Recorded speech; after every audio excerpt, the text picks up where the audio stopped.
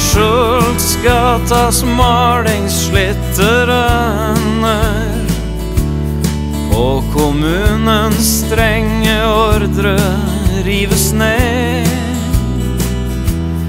Går jeg frikar blant vildenveiske bønder og kan tigge meg en slant i ro og fred.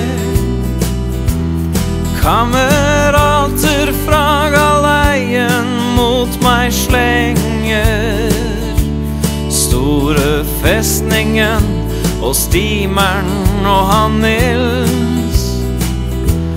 Kloss ved ølbutikken teller vi opp penger. Og så kingser jeg min morgenmat med pils. Animert jeg for dagen, holder talen. Sult og fattigdom er ikke mitt motiv. Store festningen klapper i finalen som er preget av et dobbelt rensa liv. Etter troll i bussen, bidevind vi slingrer. Redervilla sangeren få los. Og i sølvdiskanten stemmebåndet skingrer. Jeg er sjømann, jeg er arbeidsløs matros.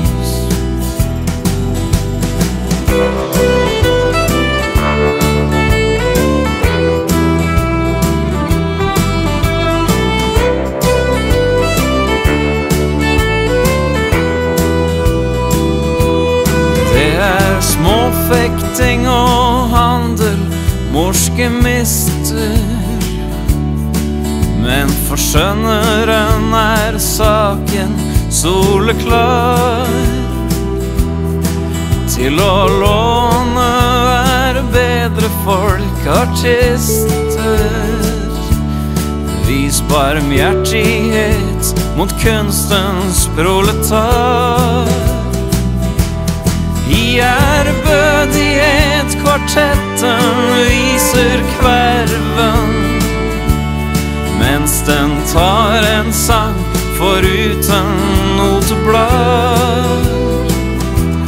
Og på venners vegne takker jeg for skjerven før vi knaller vekk på flate foteblad.